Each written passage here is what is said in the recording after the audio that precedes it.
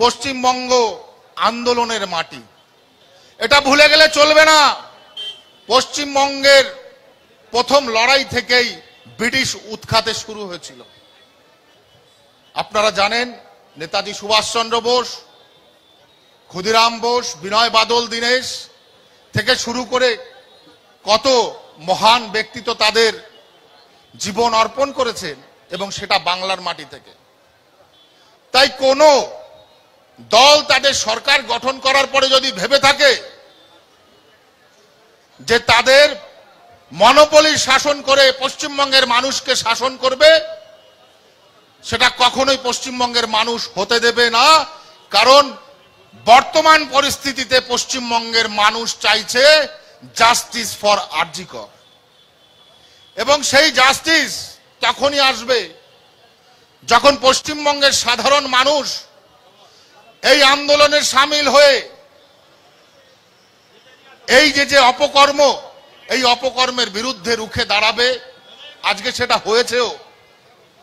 পশ্চিমবঙ্গের সমস্ত মানুষ, ভারতবর্ষের সমস্ত মানুষ এই রাজ্যের সরকারকে নিন্দা জানাচ্ছে, এই রাজ্যের পুলিশ প্রশাসনকে নিন্দা জানাচ্ছে, কেননা পুলিশ প্রশাসন দলদাস হয়ে মমতা বন্দ্যোপাধ্যায়ের আজকে চাকর বৃত্তি খাটছে। অন্যান্য স্টেটের পুলিশরা আপনাদের বলছে, কান খুলে শুনে রাখুন যে আপনারা সরকারের একজন ক্যাডার হিসেবে কাজ করছেন না, একটা দলের নেত্রীর বা সেই দলের ক্যাডার হয়ে কাজ করছেন। এটা লজ্জার বিষয়, এটা ভাববার বিষয়। সাধারণ মানুষকে যেভাবে অপদস্থ করছেন এই আন্দোলনের নামে যারা রাস্তায় নেমে আন্দোলন করছে, তাদের যেভাবে অপদস্থ করছেন, আপনাদের ঘরেও মা, বোন, ভাই, বাবা, মা আছে, তাদেরকেও, তারাও সাধারণ সিভিল, তারাও সাধারণ সিভিল, এই সভ্য আমাদের শহরের, আমাদের গ্রামের তারা, তারাও এই অধিবাসী। তাই আপনাদের মনে রাখা উচিত যে আপনাদের ঘরের ফ্যামিলিতেও সাধারণ মানুষ বাস করছে। আর আপনারা সেইভাবে বিচার না করে আপনারা সাধারণ মানুষের উপরে টর্চার করে আজকে রাজ্যের সরকারের যে অপকর্ম সেটাকে ধামাচাপা দিতে চাইছেন। মুখ্যমন্ত্রী মমতা বন্দ্যোপাধ্যায়, আমার এই মাইকের আওয়াজ যতদূর পর্যন্ত যাচ্ছে আমি বলব, আপনি এই পশ্চিমবঙ্গের সরকার চালাতে সম্পূর্ণভাবে ব্যর্থ। আপনি সম্পূর্ণভাবে ব্যর্থ এই কারণে যে আপনি একটা সরকারের মুখ্য জায়গাতে থেকে আপনি সরকারি সেই মুখ্যমন্ত্রীর অবস্থানকে না রেখে একটা বিরোধী দলের রোল প্লে করছেন। এভাবে সরকার চলে না, এভাবে সরকার চালানো যায় না। এটা আপনার একটা মনোপলি এবং খামখেয়ালি সরকার চালানোর আমার মনে হয় এই যে যে পরিস্থিতি আপনি তৈরি করছেন, সেটাকে পরিবর্তন করা উচিত। শুধু পরিবর্তন নয়, আপনাকে মানুষ আগামী কিছুদিনের মধ্যে এই সরকার থেকে উৎখাত করে ফেলে দেবে, এটা আপনি দেখতে থাকুন।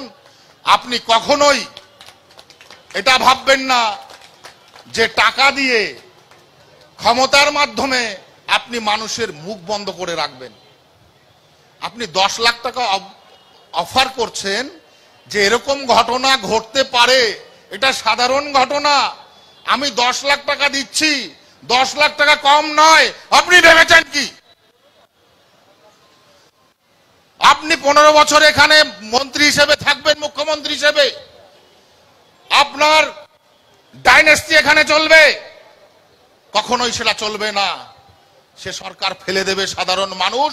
তাদের ভিতরে স্ফুলিঙ্গ জেগে উঠেছে। তাদের ভেতরের যে স্পৃহা, তাদের ভিতরের যে অগ্নিশিখা সেটা আপনাকে আগামী কিছুদিনের মধ্যে বুঝিয়ে দেবে যে রাজ্যের অপসরকার বেশি দিন চলে না, সরকার পড়ে যায়। আমি একটু কিছুদিন আগের একটা ঘটনাতে যাই। আপনারা দেখেছেন যে কেন্দ্রে আমাদের যে সরকার আছে, সেই সরকার সিএ অর্থাৎ সিটিজেনশিপ বিল পাশ করিয়েছিল। এবং সেই বিলের এগেস্টে এই রাজ্যের মুখ্যমন্ত্রী এবং তার সমস্ত ক্যাডার বাহিনী যেভাবে পশ্চিমবঙ্গের সরকারি সম্পত্তি ধ্বংস করেছিল, সেটা কিন্তু অত্যন্ত গিরোধকর কাজ। আমার মনে হয় মুখ্যমন্ত্রীর বোঝা উচিত ছিল যে কেন্দ্রীয় সরকার এই সিএ বিল যাদের জন্য এনেছে, তাদের প্রতি সহানুভূতিশীল হয়ে মানবতার দৃষ্টিকোণ থেকে দেখে এই সিএ বিলকে এনে ভারতবর্ষে অবহেলিত মানুষদের একটা সহযোগিতার জায়গা বা তাদেরকে বাসস্থানের জায়গা করে দিতে চাইছিল। আপনি শুধু রাজনৈতিক ভোটের জন্যে একটা বিশেষ গোষ্ঠীর ভোটকে গ্যাদার করবার জন্য অ্যাচিভ করবার জন্যে আপনার রাজনীতি আপনি তাস হিসেবে খেলে গেছেন তাতে কিন্তু বিশেষ সুবিধে করে উঠতে পারেননি। পরবর্তীতে সিএ পাস ও ইমপ্লিমেন্টেশনও হয়েছে। আজকে আমরা দেখতে পাচ্ছি যে পাশেরই একটা দেশে আমাদের সংখ্যালঘু মানুষরা কীভাবে অত্যাচারিত হয়েছে এবং কীভাবে তারা বর্ডারের পাশে এসে দাঁড়িয়ে ভারতবর্ষের কাছে ভিক্ষা চেয়েছে যে আমাদের অ্যাকসেপ্ট করা হোক। কই আপনার সরকারের একজন লোকও তো কোনোভাবে তাদেরকে সহযোগিতা করার কোনো সুবিধা পাইয়ে দেওয়ার বিষয় নিয়ে ভাবেনি। না আপনারা ভারতবর্ষকে রক্ষার জন্য কেন্দ্রীয় সরকারের সঙ্গে বর্ডার ফেন্সিং এর যে সুবিধে, যে প্রোটেকশন সেটা আপনারা করছেন, না ওপার বাংলা থেকে নিপীড়িত মানুষ আসার যে ব্যবস্থা সেটাকে আপনারা সুনির্দিষ্ট করছেন। উপরন্তু, রাজ্যে যেভাবে আপনার দপ্তরেরই একটা সরকারি প্রতিষ্ঠানে আজকে যেভাবে যে ঘটনাটা ঘটেছে, এটা অত্যন্ত নিন্দনীয়। এর কোনো ভাষা নেই যে আমরা কীভাবে সেটাকে প্রকাশ করব। এতটাই অধপতনে পৌঁছেছে সরকারি ব্যবস্থা যে একটা সরকারি সংস্থার মধ্যে একজন ডাক্তার, সে সেফ নয়। সে রাত বিরতে যখন তার চিকিৎসার জন্য পেশেন্টের কাছে যাচ্ছে, তার উপরে রিভেঞ্জ নেওয়া হচ্ছে। কেন? সে জেনে ফেলেছিল ওই হসপিটালে কীভাবে দুর্নীতি হচ্ছে, ওই হসপিটালে কীভাবে সরকারি প্রোটেক্টেড এবং সরকারি সিম্বল প্রাপ্ত যে ওষুধগুলো সেগুলোকে না দিয়ে কীভাবে ডুপ্লিসিটি করে, আজকে ওখানে ড্রাগ সাপ্লাই হচ্ছিল। আর সেটাকে যখন সে প্রকাশ করতে চাইছে, প্রকাশ করতে চাইছে, তার প্রাণ নিয়ে নেওয়া হচ্ছে। স্বৈরাচারিতা এবং ক্ষমতার অহংকার যে জায়গাতে পৌঁছেছে, সেটা অধ্যত্বের সীমাও হারিয়ে গেছে। সেই অধ্যত্বের সীমা হারানোর জন্য আজকে সারা পশ্চিমবঙ্গ, আজকে সারা ভারতবর্ষ ক্ষিপ্ত আপনার উপরে। আপনার এই গদি কেড়ে নেবেই সাধারণ মানুষ, অচিরে কেড়ে নেবে এবং আপনি সেই দিনটার জন্য অপেক্ষা থাকুন। আপনার নেতা মন্ত্রীর কথা বন্ধ হয়ে গেছে কেন? আপনার নিজের কথা দুদিন তিন দিন যাবৎ বন্ধ হয়ে যাচ্ছে কেন?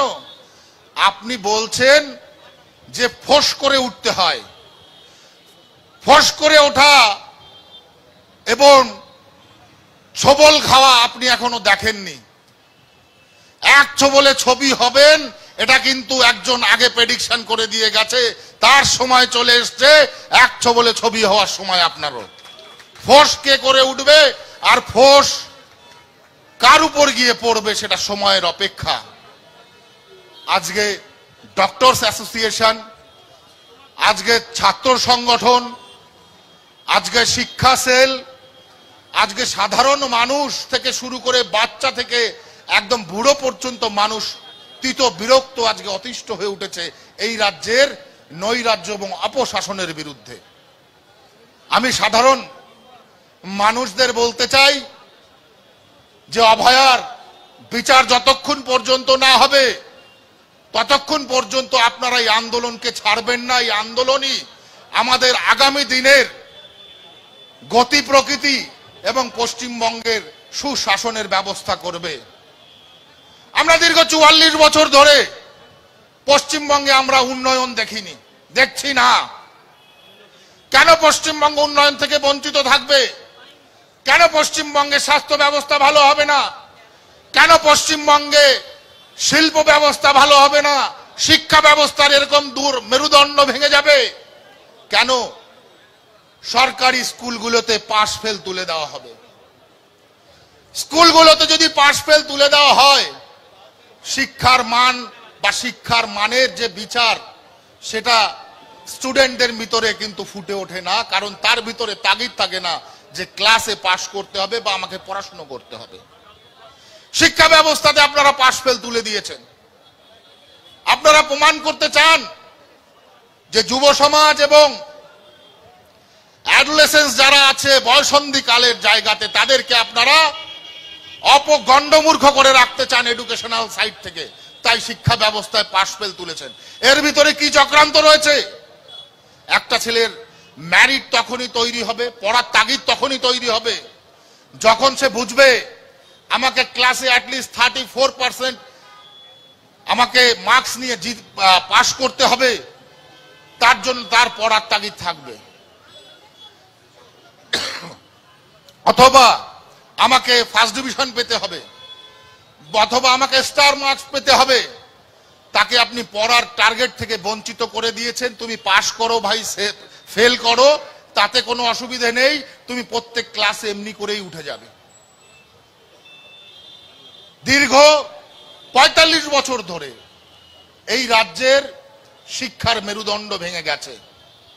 প্রাইমারি সেক্টরে ইংলিশ সাবজেক্ট ছিল না আমাদের ফাইভে গিয়ে আমাদের এবিসিডি শিখতে হতো। ফাইভে বসে একটা ছেলে যদি এবিসি এবিসিডি শেখে, তাহলে ক্লাস টেনে গিয়ে বা টেন প্লাস টুতে গিয়ে সে একটা এসে লিখবে কি করে? সেটা কি সম্ভব? আপনি পশ্চিমবঙ্গ তথা পশ্চিমবঙ্গের বাইরে যে কোনো স্টেটে যাবেন, সরকারি কাগজে আমাদের ইংলিশ ছাড়া কোনোভাবে আমাদের দেখবেন সেভাবে সেই প্রচলন নেই। অতএব ইংলিশ এখানে শিক্ষা ব্যবস্থা, পাঠ্য ব্যবস্থাতে নেই। এটা আমি মনে করি যে প্রজন্মের পর প্রজন্মকে মেরুদণ্ড ভেঙে দিয়ে শিক্ষা ব্যবস্থার এই হাল করে রাখা হচ্ছে। আমাদের ভিডিও ভালো লাগলে লাইক এবং শেয়ার করুন। কমেন্ট সেকশনে গিয়ে জানান আপনাদের মতামত। আরও ভিডিও পেতে আমাদের চ্যানেল সাবস্ক্রাইব করুন এবং প্রতি মুহূর্তে খবরের আপডেট পেতে প্রেস করুন বেল আইকন।